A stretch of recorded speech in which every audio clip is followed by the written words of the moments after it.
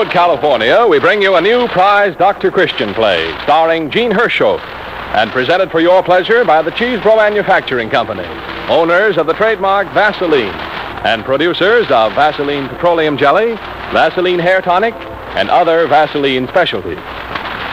Here's a way to help you make sure that you're spending your money in the wisest way. Before you part with a dollar bill, take a good look at the picture on the front, the picture of George Washington.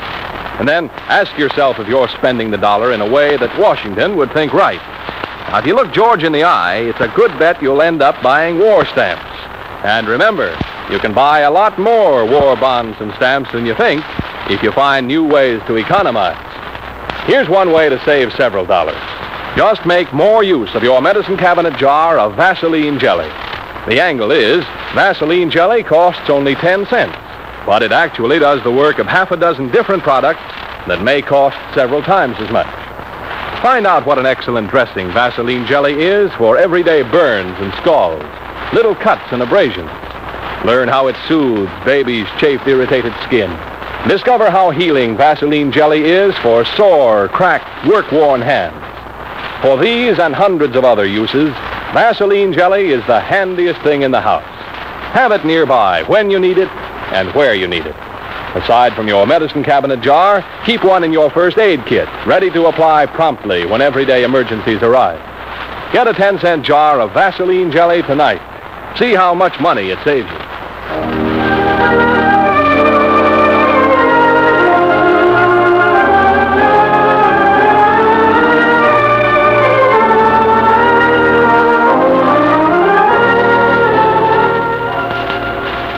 Tonight's prize winning play is the work of Alma Bradley of Gorman, Texas.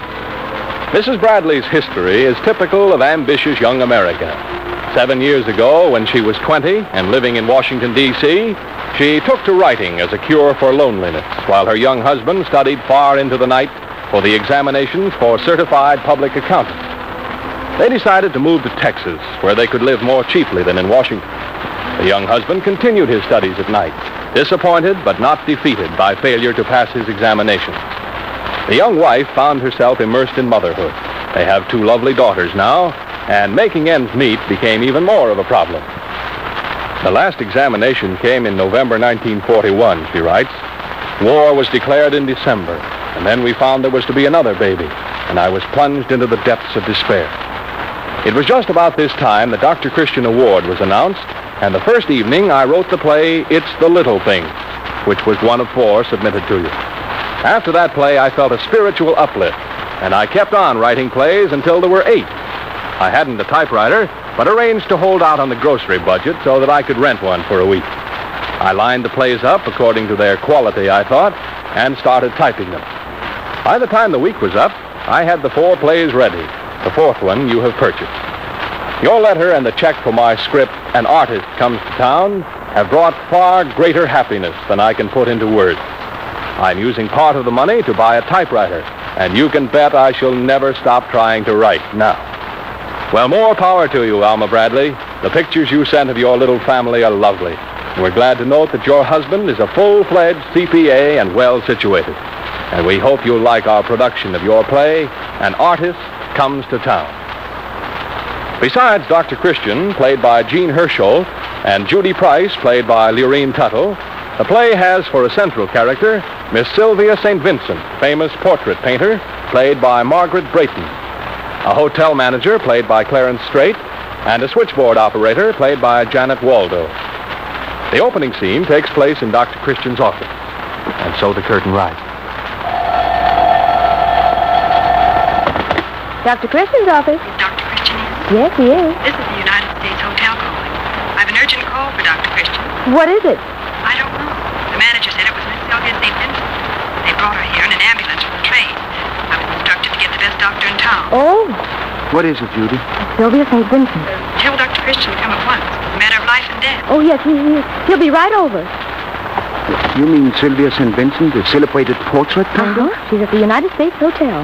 They brought her from the train in an ambulance, and they want you right away. The operator said it was a matter of life and death. Did she say whether Miss St. Was ill or had been injured? No, she didn't know. She said she'd been instructed to get the best doctor in town immediately. I wonder why they didn't take Miss St. To the hospital. Well, we'll soon find out. You want me to come along? Oh, certainly.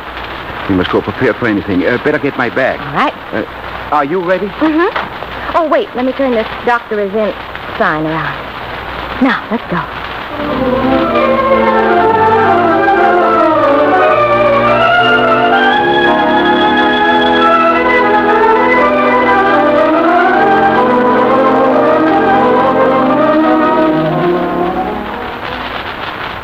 I'm Dr. Christian. There's a call for me.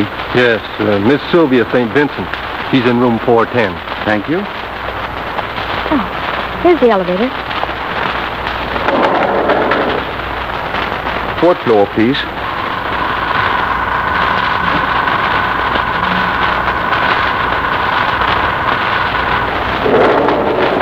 Go ahead, Judy.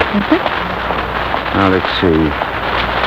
408, 409, 410. Here it is.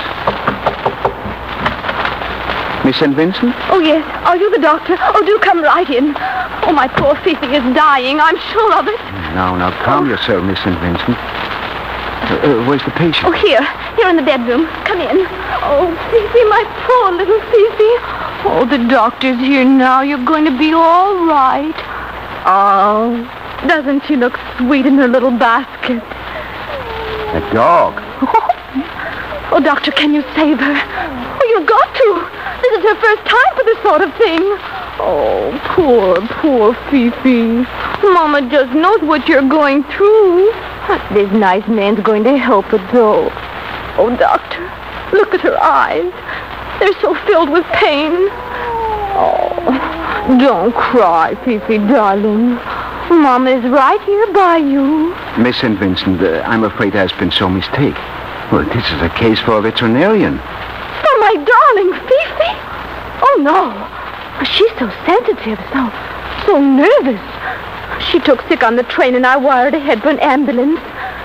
You see, we're on our way to New York where I'm having a showing. Oh, I didn't dream that Fifi's time was so near. Oh, it, it would happen in a small town like this. Oh, oh, do something. Do something. She's dying. Oh, if she dies, I'll just die too. Judy, my rubber gloves. Yes, Dr. Christian. Now, you go in the other room, Miss St. Vincent. I'll call you when it's all Oh, over. no. No, I, I must stay right here by Fifi. I... Oh, baby. Oh, my poor, poor baby. Oh, doctor. Doctor, look. Look what's happening. Oh. Catch her, oh. Judy. Oh, she fainted. Good. Uh, I'll carry her into the other room. Here, let me help you. No, no, no, that's all right. I can manage. Well, I'll lay her right here on this couch. Place her feet, Judy. Is that all right? Yes. Oh, just a minute. There. Here's a glass of water. Thank you. She's coming around. Oh, oh, what happened? You're all right, Miss St. Vincent. Lie quietly. Fifi. Fifi. Oh, what are you doing in here with me when, when poor Fifi needs you? You must be quiet, Miss St. Vincent. Your dog is all right. Oh, she isn't. Oh, you're letting her die. Oh, why did I have to stop in a in a burg like this? I. Uh, Judy, hand me my bag, please. Oh, here it is. A hassle. Uh-huh.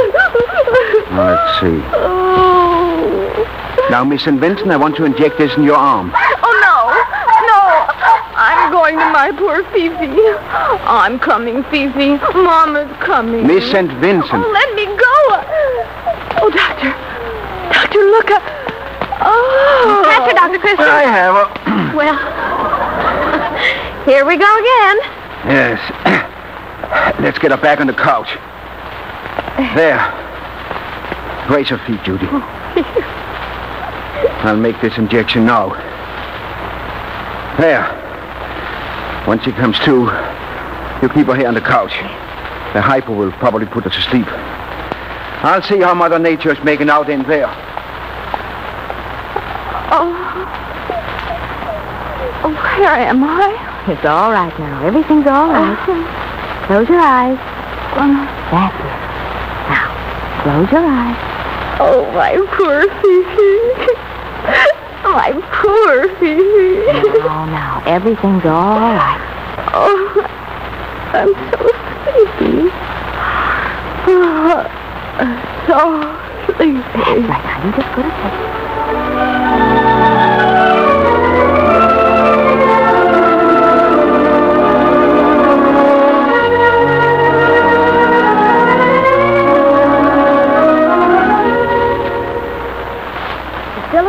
Christian. How's everything in here? No, it's all over, Judy. How many are there?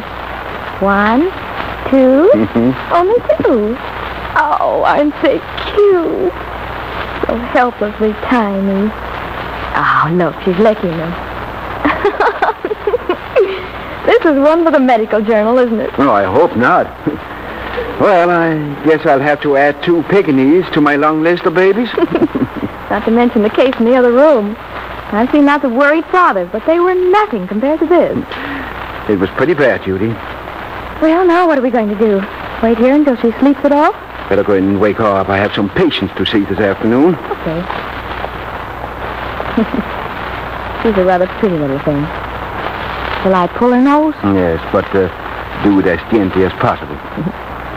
Miss St. Vincent, wake up. Wake up, Miss St. Vincent.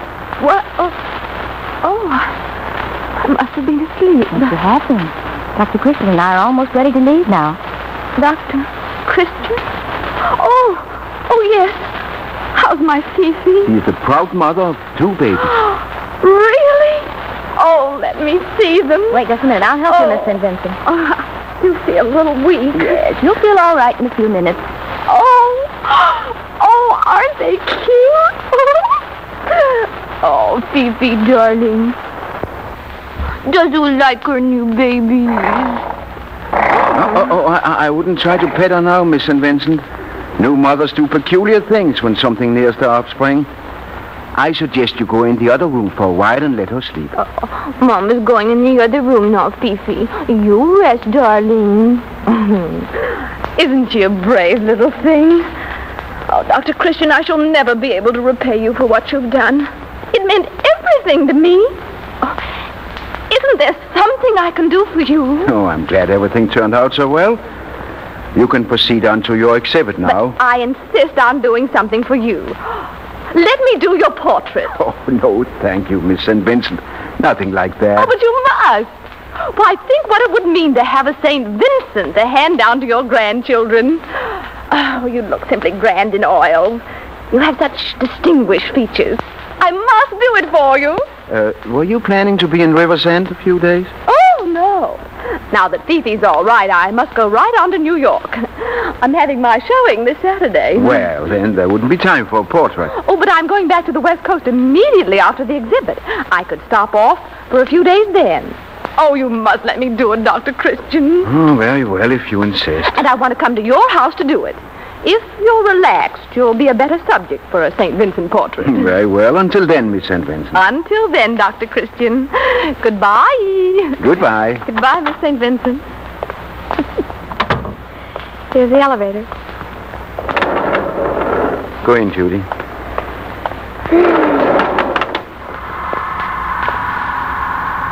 Thank goodness that's over. Yes, indeed. Dr. Christian, I must say you were certainly a good sport. Why, you could have knocked me over with a feather when I saw that dog lying in the basket. Ah, It was a bit of a shock. Just a little bit sickening. I don't believe I've ever felt more like turning somebody over my knee in my life. Oh, well, she loved the dog, Judy. Well, here's our car. Are you really going to let her do your portrait? Oh, I don't know, Judy. I really don't expect Miss St. Vincent to stop in River's End on her way back. After all, an artist of her accomplishment couldn't be expected to give her time to painting the portrait of a country doctor. Mm. She didn't neglect, neglect to call one of the best physicians in the country to deliver her pop. well, at first I felt just a bit irritated, but now that it's over, it's really amusing to. Yes, it is. I thought I'd die when I looked at your face. Talk about registering emotion. And hmm. then when she started raving. This is certainly one for the book.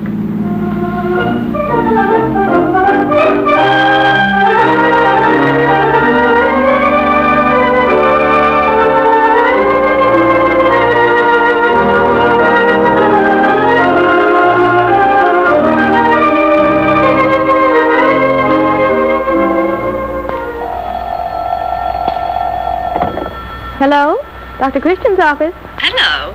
This is Miss Sylvia St. Vincent calling. Is Dr. Christian in? Just a moment, please. It's Miss St. Vincent. You don't mean it. Mm-hmm. Hello? Oh, Dr. Christian. This is Sylvia St. Vincent. Yes, how are you? Oh, simply grand. I haven't forgotten that I promised to give you a St. Vincent to hand down to your grandchildren. Oh, but Miss St. Vincent, you you don't want to take time for that? Oh, but I do. Hmm. Think what it will mean to you. When can you sit for your portrait? Well, uh, it would have to be in the evening. You're blushing. Oh, well, that's quite all right. Could we start this evening? Well, really, Miss St. Vincent, uh, I don't want a portrait. Nonsense. Don't be so modest. Very few people who have this opportunity. Very well. Would you be ready to leave the hotel by eight this evening? Eight. Yes, and that will give me time to take Phoebe for an airing after dinner. Suppose Miss Price and I drop by for you then, and we will drive on out to the house. Eight o'clock tonight. See you then. Goodbye. What's the matter? Are you going to need me around for moral support? Uh, more or less, Judy. You don't mind coming along, do you? Oh, excuse me. I, I don't mean to jeopardize your evening. Oh, don't be foolish. The one and only is working these nights, and anyway, I wouldn't miss it. Well, let's drive out to Mrs. Miller's for dinner, and then we can get Miss and Vincent and go on out to the house. Well,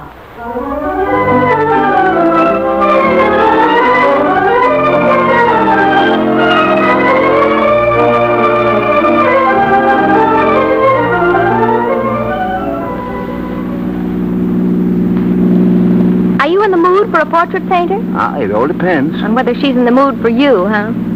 She must feel awfully indebted to you to stop over in this burg. Remember? Oh, now, Judy, first impressions are often wrong. Oh, look, here's the hotel. Stop here in front and I'll run in and see if she's ready. All right.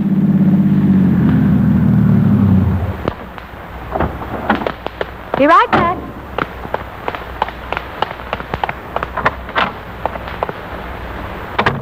Oh, here you are in the lobby. All ready to go? Dr. Christian's waiting out front. Oh, hello. You're Miss Price, aren't you? Mm-hmm. How's Fifi? Oh, doing splendidly. She's upstairs with the maid. The poor dear gets so lonesome alone. Well, let me see. I guess I have everything I'll need. Here, let me carry some of your bundles. Oh, I had such a marvelous weekend in New York.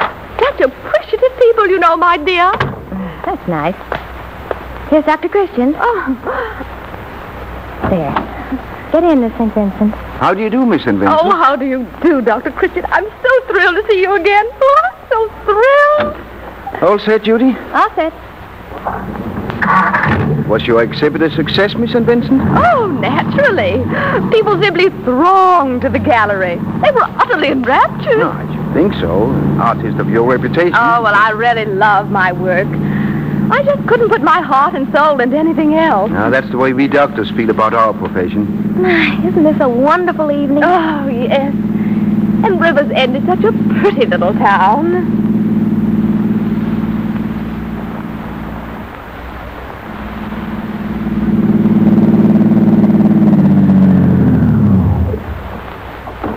Huh? Here we are.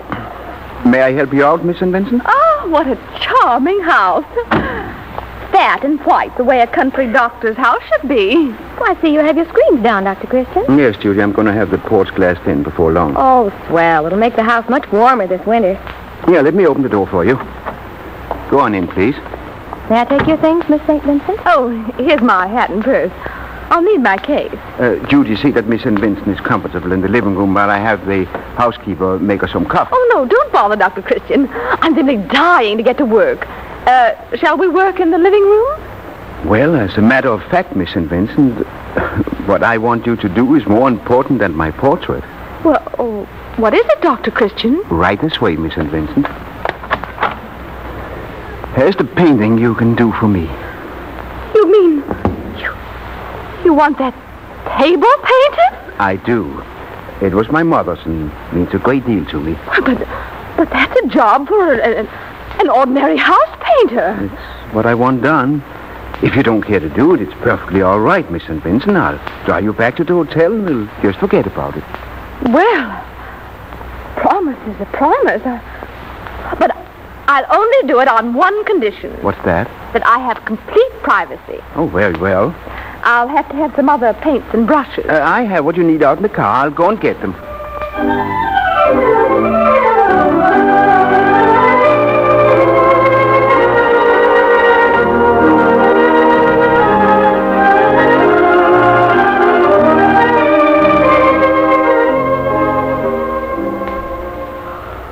Oh, it's getting late, Dr. Christian. I wonder how Miss St. Vincent is getting along. I'm wondering too, Judy. Been some hours. Well, the painting is finished. Come and look. Why, Dr. Christian, see what she's done. Why, it's beautiful. It is indeed. You like it? Well, it's magnificent. Well, that's something new in furniture decoration. Oh, I love those flowers you painted in the middle of the table. Hey, you've done a wonderful piece of work, Miss St. Oh, thank you. And you're certainly a good sport. Well, I had to be to keep up with you. Yes, Judy, I would say Miss Sylvia has surely turned the table on us.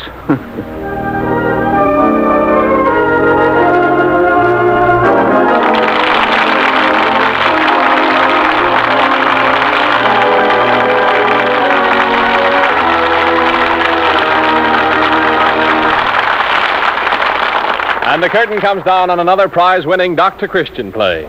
Our star, Jean Hersholt, will be here in a moment to greet you and tell you about next week's play. How would you like to live in the year 2000? Oh, it's not so far off as it seems. Babies born this year will only be 58 when the year 2000 arrives. Right now, however, they're still babies, and being such, they're subject to those commonplace baby troubles like chafing and day to day rash. For these ordinary skin irritations, millions of mothers have learned that there's nothing more soothing than Vaseline jelly. Safe and gentle, Vaseline jelly does three important things. First, it soothes babies' chafed, irritated skin. Second, it forms a protective film that helps keep infection out when the skin is broken. Third, it helps to promote healing. When baby's skin is sore or red, use Vaseline jelly after his daily bath. Work it gently into the folds of the skin and wherever the clothing rubs. You can use it freely and as often as you wish. The trademark Vaseline is your guarantee of absolute purity. Get Vaseline jelly tonight. Only 10 cents. And now, here is Jean Hersholt.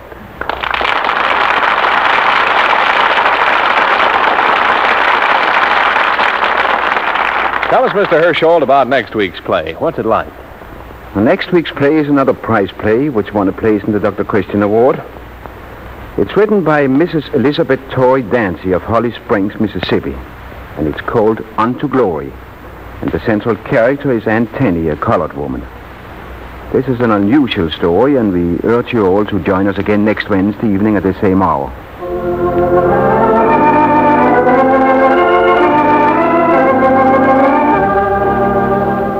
And until then, I'll say good night.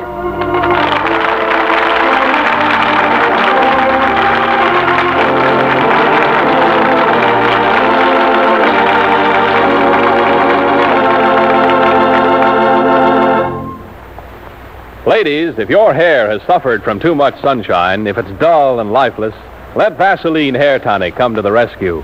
Before every shampoo, give yourself a Vaseline Hair Tonic massage. See how Vaseline Hair Tonic makes the hair soft, lustrous, and easy to arrange becomingly. Get a bottle tonight. Art Gilmore speaking. This is the Columbia Broadcasting System.